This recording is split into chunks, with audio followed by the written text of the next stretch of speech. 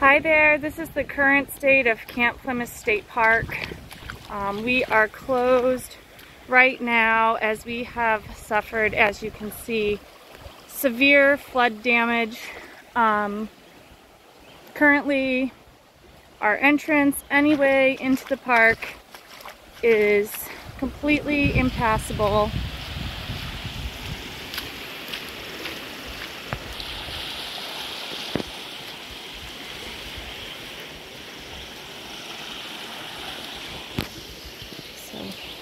We're making this video to show people how bad the damage actually is and this is why uh, the park is going to be closed for an extended period of time so that we can get all the necessary heavy equipment and machinery in to take care of this.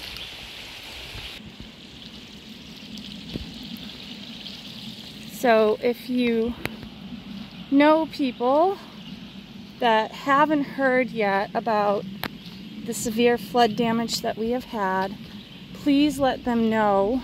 Um, like, here are our fields that we would normally walk in and picnic in.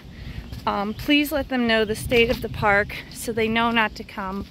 We are not able to have visitors in the park at this time. So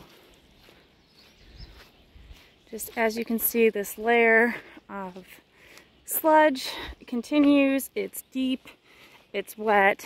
Um, most of our grass is covered up or has this in it. Showing you here, as you can see, our playground has also suffered significant damage.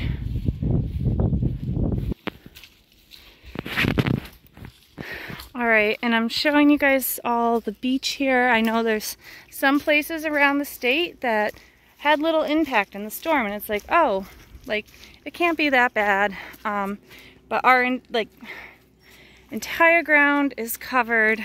Um, the water is not going to be okay to swim in for a while until this is clear, like, time is going to need to happen to clear this, um, as well as extensive cleanup and this is sludge all over here. So again, if you know anybody who hasn't heard about the severe damage at Camp Plymouth State Park, please pass the word. Um, we have lots of other beautiful parks to visit and please enjoy those so that all of our heavy equipment can get in here and we can do our best job to try to get this um, park back in order.